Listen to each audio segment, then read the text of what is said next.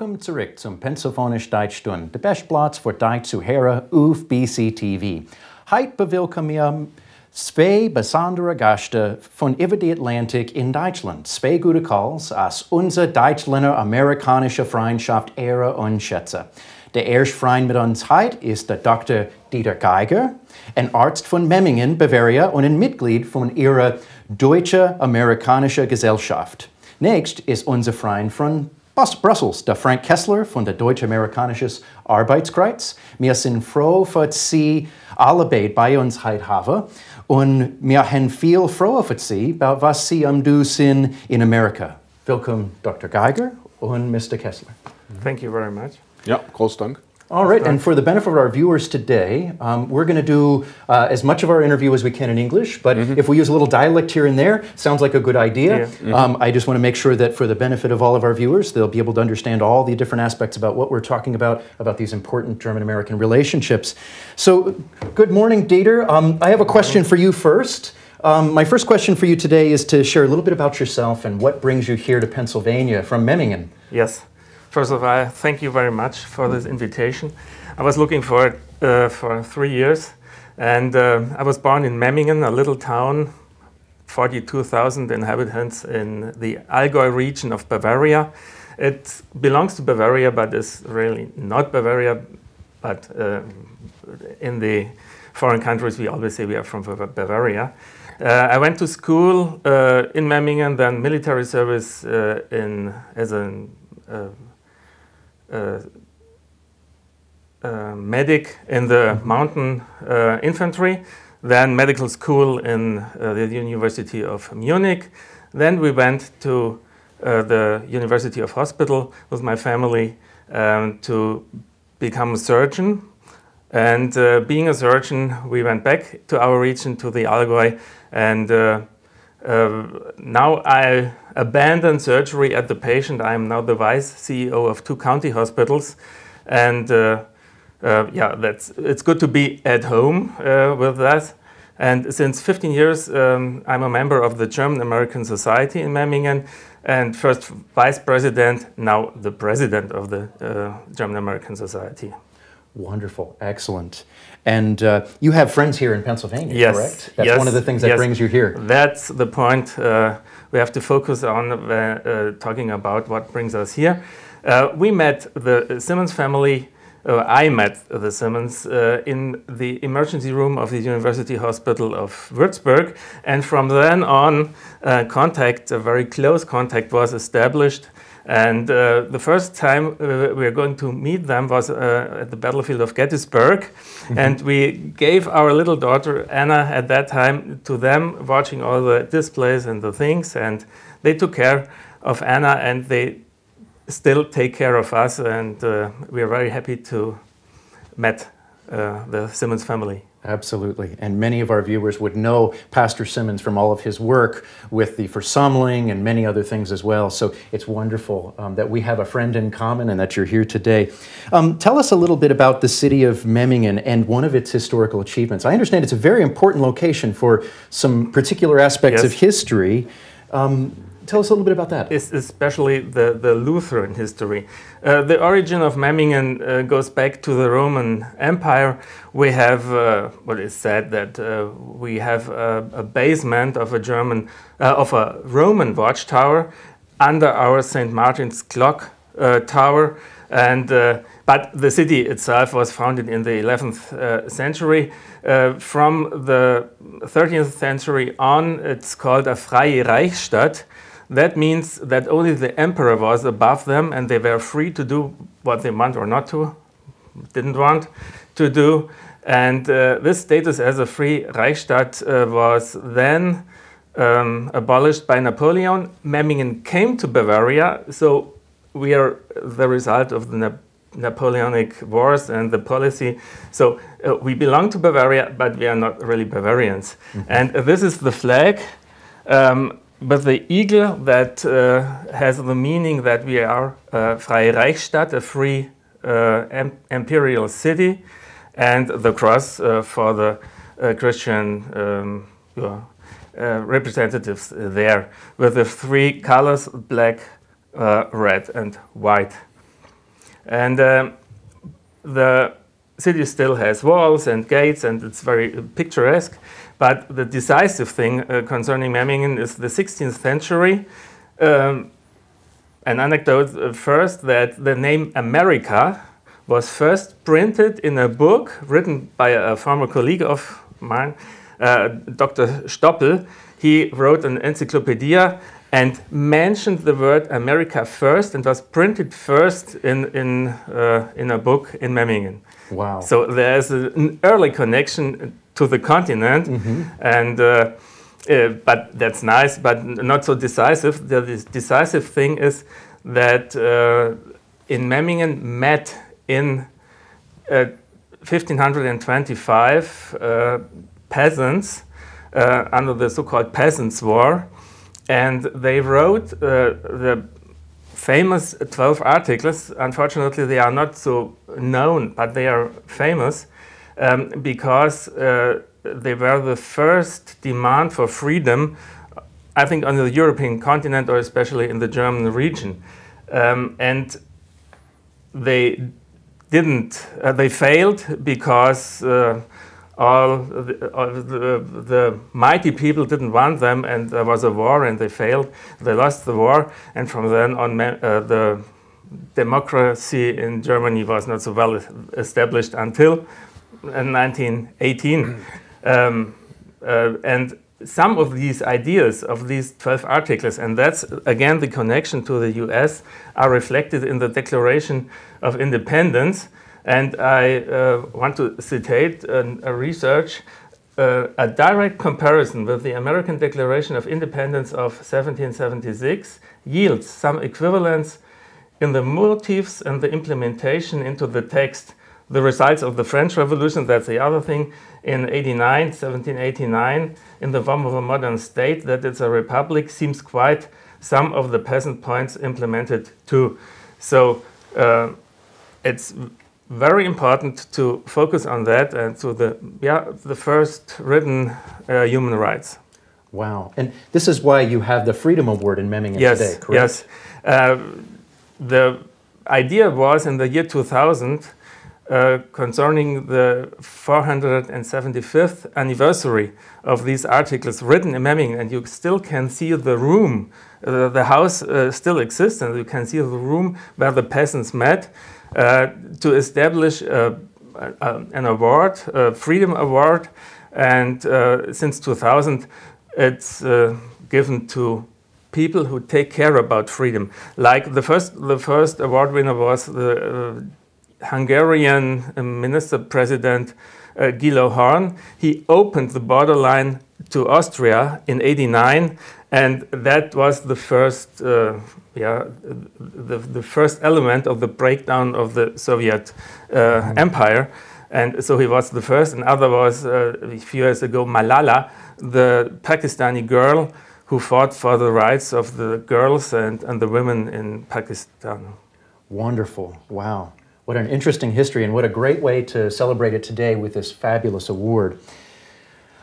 I want to switch gears for just a moment and ask a couple questions of Frank. Um, Frank, welcome back again to Pennsylvania. Mm -hmm. Have you been on the Pennsylvania German Hour with us before? Ja. I uh, thought so. Ich bin schon, uh, ich bin just now das vierte Mal in die Show. Das erste Mal uh, zurück 2002 mit die Stella Leib. Okay, okay. With back when Stella pre, was the host. Uh, predecessor, so to speak. Okay, yeah, wonderful. Yeah. Well, um, tell us about what brings you to the U.S. this time around. Yes. Uh, the main reason why I came is the German American Cultural Year. It's uh, this year is the German American Cultural Year. It's called Wunderbar uh, Together, and it is an initiative of the former German Minister of Foreign Affairs and our German President Frank-Walter Steinmeier. And it brings uh, uh, together different stakeholders and uh, different companies, chambers of commerce, the German Cultural Institutes, the German schools, the German language schools, and all kinds of um, German American organizations to promote German American uh, relations. And also, uh, some of the projects were uh, family reunions, and they wrote a common history book. There were like it was like a German week in Chicago. There was the project Rent a German, bringing um, German uh, students, college students, to high schools And there was another project called Wanderbus. There was a German cultural bus and uh, library uh, and going to different colleges and high schools. There are plenty, plenty of activities. And there's also a homepage. And I think it's a marvelous idea because um, foreign language programs are having a hard time in the US at the moment, like all liberal arts programs. And um, it's great uh, that uh, the, that Germany is promoting now uh, the, the German-American relations, the culture and the language, uh, and so on. Now, absolutely, I can, I can uh, also say something about our particular project. And uh, our particular project are Pennsylvania German books.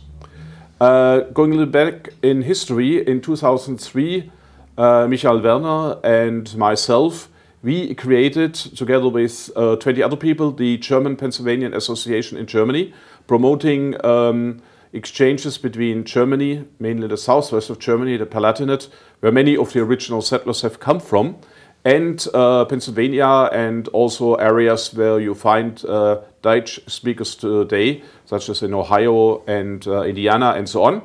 And then back then we noticed that there were hardly any books, uh, es gibt keine Bücher für die Kinder. And so we decided at the time that something should be done. And uh, our association, um, we have different events like uh, German Pennsylvanian Day, uh, usually in October, and Patrick has been there and some other people. And we started then to do uh, Pennsylvania German books. And we had the possibility uh, to come uh, to the States to present these books at different occasions, like at uh, preschools, Kutztown University, the Schwenkfelder Heritage Center and Library. And tonight we will be at the Muddy Creek Farm Library down in um, in Ephrata. Wonderful, excellent. So tell us a little bit about the titles that you brought along with us today. Yeah, there is one title, this is the most recent one, that is uh, Peter Rabbit. It's a bilingual book. It provides you with all the information. Uh, it's uh, about Peter Haas, that's the German title. And um, so uh, it's a book very familiar to uh, Americans.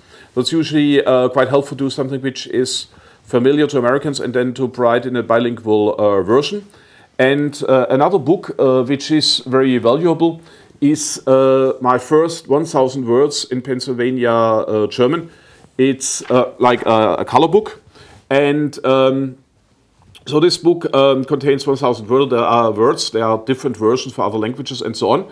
It's a good possibility for people who want to learn the language, but also for speakers who have learned the language but they do not all the uh, know all the words anymore to look it up and there are different subjects like uh, the, the race the the the, uh, the, the, voyage the travel or at home the home and so you can look it easily up and you see you have the picture and as a special gadget there is an ently small duck on every page so that keeps the little children busy uh, to um, look for it so I think it's a great mean uh, for your children or grandchildren. But um, I uh, was recently in uh, Kentucky. I met some Amish people, and they were also delighted to see it. That's wonderful, and I can I can attest that children do love that book because my my two year old daughter likes to find uh, Es Endli with me yeah. uh, at home, and we yeah. have that both in the Pennsylvania German version, and then also there's uh, that particular book is in many other different languages yeah. as well. And we have it in German and Russian. So fabulous! I'm so glad just, you're promoting just one, these. Just one detail. Yes, uh, the books uh, are published by Masthof. You can find them via Masthof. They do a really great job doing all kinds of books. And uh, we are now very happy to see that almost 20 years later, there are additional books in the dialect, like a former uh, college professor from Kutztown University, Professor Mary Laub, has also done two books. And uh, there are also Doug Madenford has done uh, books and Rachel Yoder. So you have now a fairly large uh, quantity of Pennsylvania German books, in particular for children. And um, Mary has even sold 1,500 copies of her first book as a really big success for Pennsylvania German. And it shows there's a new uh, generation of um, young uh, speakers. Fantastic. Now I have some questions for both of you, and I'd like to move back to Dieter for just a moment. Dieter, tell us in your own words um, what this German American relationship means to you and what keeps you coming back to the United States. In my opinion, the German German American relationship should be very important for me. It is really very important for my family due to the contact to the Simmons family. But uh, with the German American society, we try to keep the, the very good relationship that developed after World War II. Um, and my father was always talking about the Americans stationed in our city, uh, that they were so kind and so helpful for them. So that I think it's it's a must to keep on this good relationships going. Absolutely. Yeah. And Frank, Yes. you add to that? Uh, well, I, uh, uh, Dr. Geiger just talked about the American station. When I was a college student in Heidelberg, I uh, also taught German to the US military and the DoD civilians. So that also helped a lot to, um, to go through college because it uh, uh, provided me with some additional income. So I'm definitely very grateful also to the uh, US. In addition, I would like to say that one of my first contacts with Pennsylvania German was back around Christmas 1981 when one of my students came with an old uh, Christmas poem uh, from the Allentown Morning Call. And I think it was a column by uh, Pfarrer Richard Druckenbrod. His mother had sent him to Heidelberg, and so he brought that to our German class. So that was one of my first contacts uh, with uh, Pennsylvania German. And of course, I um, have plenty of other friends here in the US who are not Pennsylvania German, but uh, a fair part of them is Pennsylvania German. But I, I think uh, since um, Dr. Geiger mentioned it, we share the same values. And there have been ups and downs in German-American uh, relationships, and there there have been um, some uh, disputes between the political leaders. But it's very important to bring the people together and the individual uh, persons and to work together because we have a lot in, in common. Absolutely. Now, let's talk for a moment about the dialect. Um, what dialect do you speak at home? Um, do you speak standard German all the time, or is there is there a dialect specific to Memmingen? Uh, Yes, there's a, a dialect specific to Memmingen and our region. And let, let me take this to, to explain what I wear. It looks like a Bavarian uh, lederhose, but um, the Bavarian lederhosen are different. They are mostly brown and have a lot of ornaments. Due to the fact that Memmingen is a Lutheran city since uh, 1536, um, they reduced all the ornaments to black and uh, reduced the ornaments um, in the church also, in the churches. And so it's a very puristic approach. And um, in our region, we, we speak a dialect, uh, the Allgäu, the Allgäuerisch, which is uh, a kind of Swabian, Schwäbisch, but uh, in the mountain region located. And um, we, we speak, we, we have no um, hard dialect in daily life, but everyone, our daughter now uh, goes to the medical school in Hamburg, and they immediately detect that uh, she comes from uh, the south. And so we, we uh, a light dialect, we speak a light dialect, but uh, a lot of sh. Uh, uh, So it's comparable in some words, uh, really comparable. Some words are the same, like the Pennsylvania Dutch uh, dialect. And like Schwätze. I Schwätzer, Schwätzer. We, yes. we, we always say Schwätzer. Wir, wir schwätzen. yeah, yeah. yeah. Wonderful. And Frank, what is your what is your home dialect? My home dialect is uh, Swabian, but I'm from uh, Stuttgart. And um, I was a little bit smiling because his daughter is called Anna. My daughter is also called Anna, but we never met uh, before. And um, since Anna was born in uh, Brussels, um, she helped some people uh, once with the French menu, and they're from Germany. And uh, they said that she spoke uh, really perfect German with a slight southern German accent. So it even had a little influence on the daughter. And once in a while, uh, when we went to visit relatives, uh, she was learning some Swabian dialect uh, just to uh, amuse herself and amuse the, the, the other people. And so, um, well, uh, living in Brussels, living abroad, uh, you don't speak so much of a German dialect because you speak to other German speakers, and that's usually in more uh, standard German, but you can tell quite often by the accent where the people come from, if they are like from northern Germany or if they're from southern Germany, and or if they are from uh, Luxembourg or Austria and so on. You can uh, tell that uh, very well. But nowadays, uh, because of television and radio, we speak some more um, uh, standardized German. But you have also been in Reutlingen to the Mundarttage. There are also some dialect activities in Reutlingen and in the Swabian area to preserve the uh, Swabian dialect. And um, the, uh, there's one funny advertisement the state of Baden Württemberg, where the Swabians live, they have been economically very successful. And so uh, they, in order to um, do some advertisement, uh, they say we can do everything except for speaking proper standard German. I love that. So, uh, my last question for you before we wrap up today. Um, you know, in today's world, we hear a lot about divisions and differences and disagreements, political, culturally, all throughout the world. But this year, we're celebrating this German American relationship through the Deutschlandjahr. Despite some of our significant differences, what similarities in cultural traditions and values help to hold us together and overcome our differences? At least, what are some of the easiest ones for, for you both to think of? Well, uh, uh Dr. Geiger just said uh, it's the um, uh, the strive for democracy, and uh, the Americans had their declaration of independence much earlier.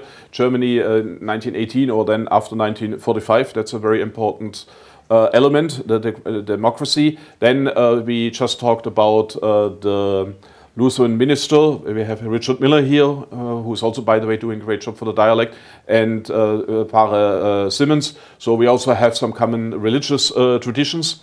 And of course, we have certain linguistic uh, traditions with the uh, Pennsylvania German. So I think um, Pennsylvania German could be a very important bridge between um, uh, Pennsylvania, Ohio, Indiana, and so on, and some areas in Germany. And, and for me, uh, I think we have to focus on the, the personal connections. The families connected together are the basis for all. It's not the, the, the top down approach, I think it's the bottom up approach.